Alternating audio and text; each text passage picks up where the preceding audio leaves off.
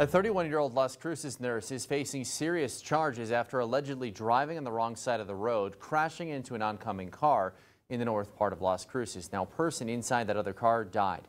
That crash happened on December 2nd on Roadrunner Parkway. According to court documents, the nurse tried to get a fellow nurse to dilute the alcohol content in her blood after police failed to obtain a breathalyzer test on her at the scene of the accident. ABC 7 Saul Saenz breaks down the details in those documents. He reports from our New Mexico Mobile Newsroom. According to court documents, on December 2nd, John Signor was driving south on Roadrunner Parkway.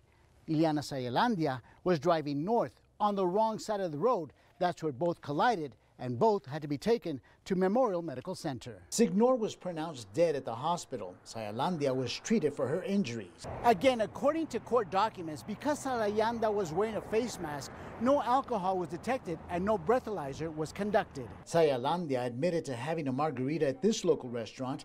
After the scene was processed, it was learned no breathalyzer was conducted, so a judge approved a search warrant for Salayandia's blood using a blood kit. According to court documents, an AMR ambulance employee overheard Salayandia requesting a bolus IV to dilute the alcohol in her system.